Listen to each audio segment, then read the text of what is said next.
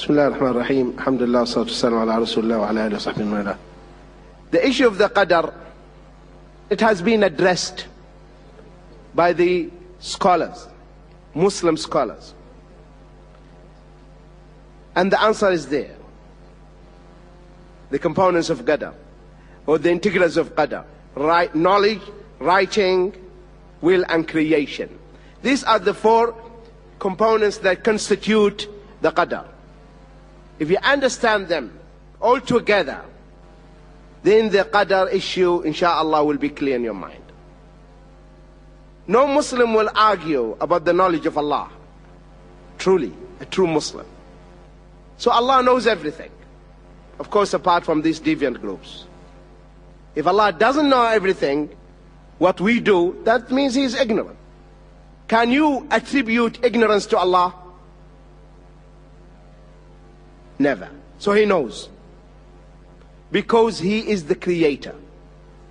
He is your maker, and that is rational. When I made this, I know about it. That's how I made it. So I have to know. Otherwise, I'll not be able to make it in the first place. So knowledge is essential. And because I know these things, that's what Allah said. Based on His divine knowledge, He commanded the pen to write. And that is the writing. And the writing of the Almighty Allah has nothing to do, will never interfere in your choice. It will never interfere in your choice. Because Allah's writing, which is in the Lawh Mahfuz, the preserved tablet, it is unknown to you. Anyone saw the preserved tablet? Anyone read it? No one. And that writing will not be used against you. Allah will not on that day say, You'll go to hell because I knew, and because I wrote. He will not use that writing. There is another writing which will be used against you. You know, there was a writing in the Lawh al-Mahfuz. They were writing when you were, you were in your mother's womb. And there's another writing when you reach the age of maturity. That writing will be used against you. Will be identical. The same as the example of the headmaster or the, the, the principal. The principal came and he asked the teacher, what do you think, what do you expect the result? He said, this guy is smart. He's getting A, distinction, C, C plus, fail. So now the principal said, I trust you. Announce the result without giving them a test. Those whom they failed, he will file a case against them in the court and he will put them, the principal and the teacher behind bar in the jail, right? He would say, Sir, I studied. I worked hard. You didn't test me.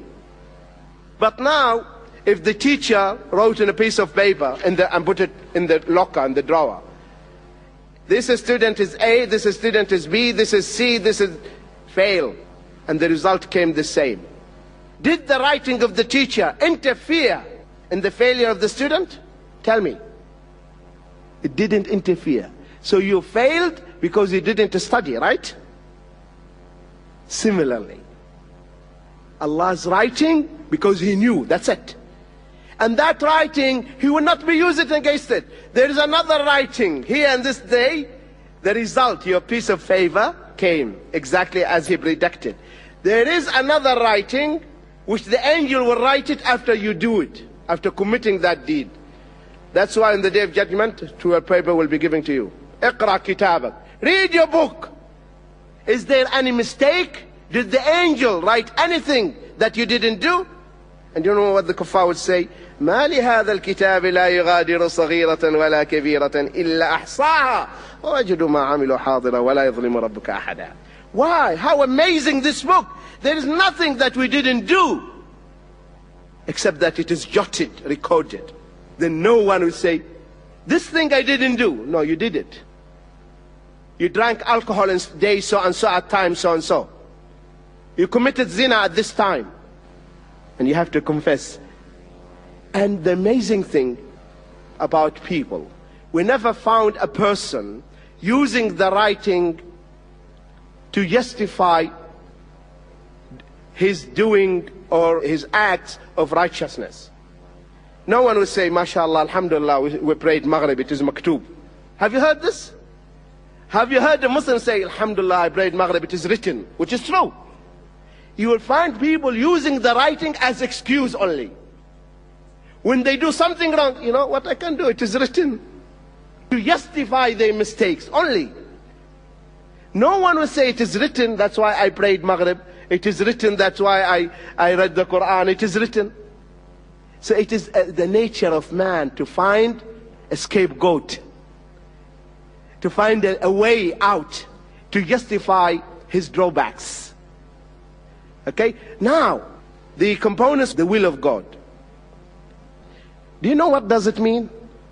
That means I can do things against his will. Do you know what does it mean? That means I can do things against his will. And if you do things against his will, what does it mean? Tell me. He's weak. It means he's what? He's weak. That's why one of the Mu'tazila, one big towering figure, and he was pious, righteous. A Bedouin, you know the Bedouin, those who they live in the desert, he came and he tied his she camel by a column, a pillar, and he went inside the masjid and the thieves came and took the camel. So he came to the sheikh and said, Oh sheikh, please pray to Allah that uh, I get back my camel. So you know what the Sheikh said? He's one of the Mu'tazila. The brother is impressed by them, it seems. Huh? okay, listen now. He said, Oh Allah, Allahumma innaka lam tasha linaqati fulan and tusraq farudha alayh. He said, Oh Allah, you did not will.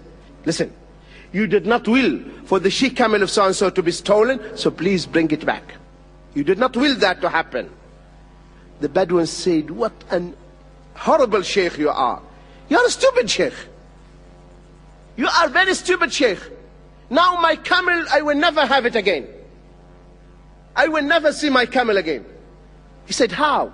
He said, listen, Sheikh, do you know what is coming out of your head? You said, oh Allah, you did not will my camel to be stolen, right? He said, yes. So he didn't will it, will for my camel to be stolen, and someone took it against his will. And he couldn't stop it, right? Now he wants to bring it back. He cannot when he failed to, to protect it in the first place. He failed to protect it in the first place. How can he bring it back? And this Mu'tazili, he dropped. Uh, no answer. You know the man, the answer from the man was fitra. Because the Mu'tazila, the will, they understand it is only one will. And I'm sure the Sheikh mentioned two wills yesterday.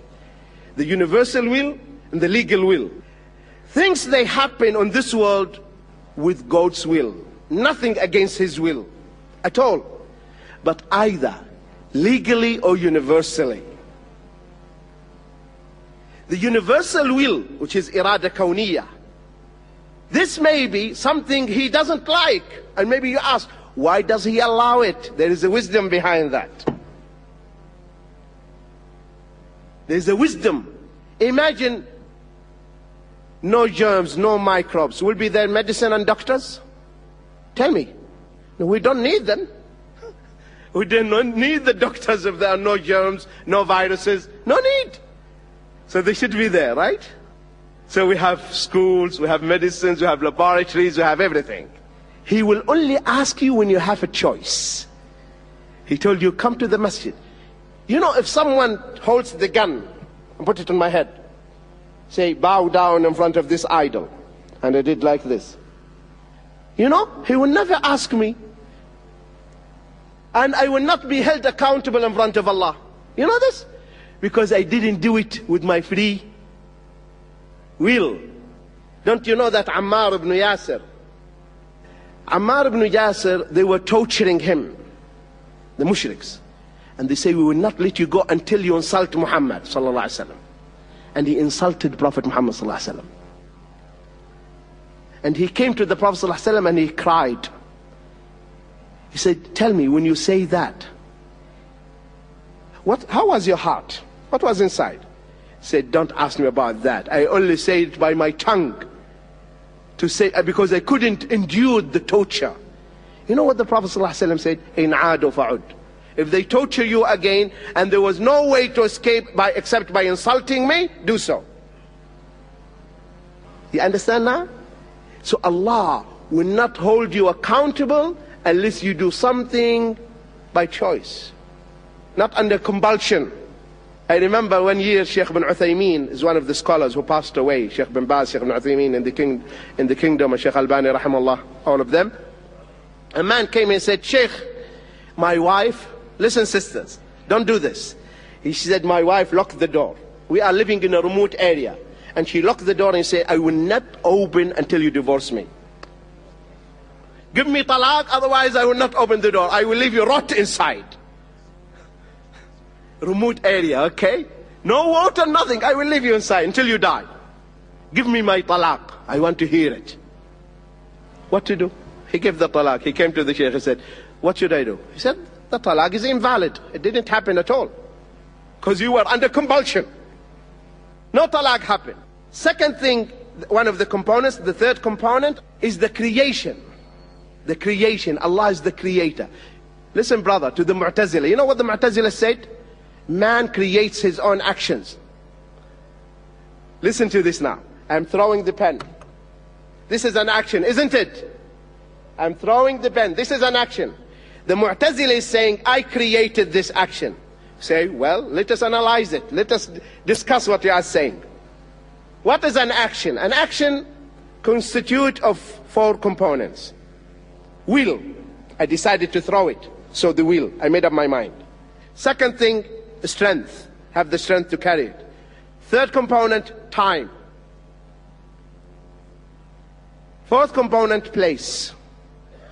These four components together constitute what? action. Which one I created? Did I create the will? Come. Who created it? God Almighty, Allah. Did I create the strength and the muscle? Who created it? Come on.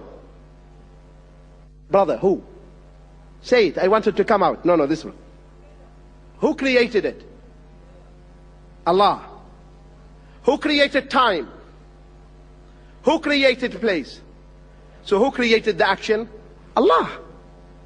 Man did not create the action. The question now, so what did man do?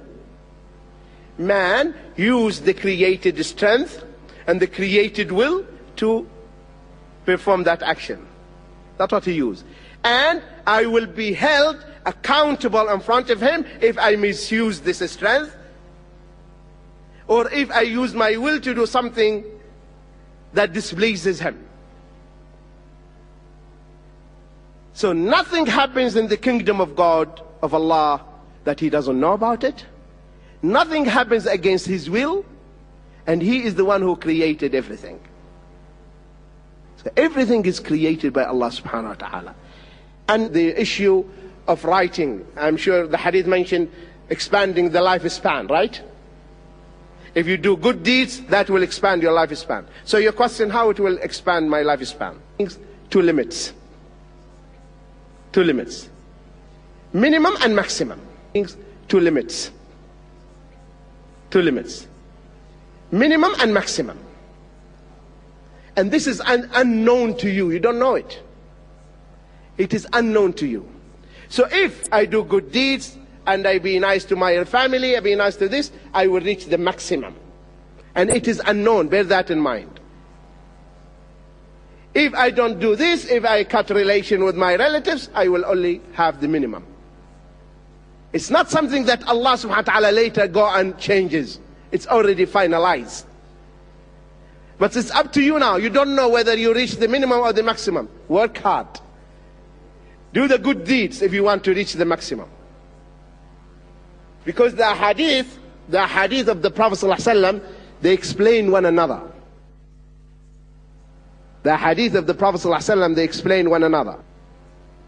The wife of the Prophet ﷺ, she said, اللهم أطل عمر Abi Sufyan wa Akhi Muawiyah.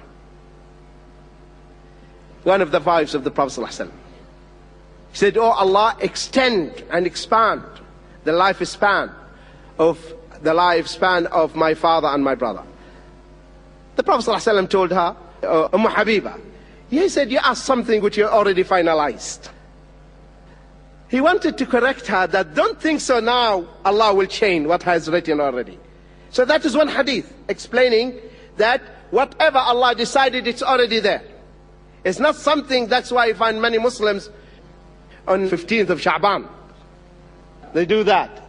Oh Allah, if you wrote in the preserved tablet that I am going to hell, please change it. They do that, Muslims. This shows that they don't understand. Everything has been finalized, everything has been set. Wrote, Allah subhanahu wa ta'ala knew it. And then the other hadith says it will be expanded. So is there any contradiction? No, no contradiction. It's not contradiction. Don't you know that the Prophet ﷺ said, nothing stops the qadr from coming down except the dua? What stops the qadr from coming down? Only the dua. Now is the dua, isn't the dua part of the qadr and qadr? It is part of it. I don't know what is going to happen to me tomorrow. So Allah subhanahu wa ta'ala gave me the ability and the strength to make dua at this time. Oh Allah, grant me health. Oh Allah, save me. Oh Allah, do this. I'm making dua. So this dua is going up. Okay? This is what I'm saying. This is something hidden. You don't know it. The writing, Allah subhanahu wa ta'ala, He wrote things in the qadr, in the preserved tablets, because He knew this is going to happen. He knew that this is going to happen. But He did not force you to do this. You have to understand the difference. Allah's writing is not forcing you to do it. It's based on the knowledge of Allah subhanahu wa ta'ala. And you will be rewarded according to your actions, what you do. But at the end of the day, it is hidden. You don't know it. That's why Umar said, I carry, I'm always preoccupied only by the dua. Because I know I'm going, I'm a gainer anyhow, whether this dua is responded to here in this life or uh, in the second life. So the qadr, also on top of that, is the secret of Allah. And that's why the Prophet ﷺ said, you should not go into great depth. Why? Because then the shaitan tries to, to utilize this and try to create doubts. Because you have to understand that Allah is adil and just. So no one will enter the hellfire when he have any excuse. No one.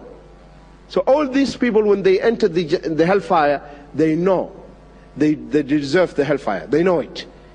Because they are going to hellfire because they disobeyed Allah subhanahu wa ta'ala.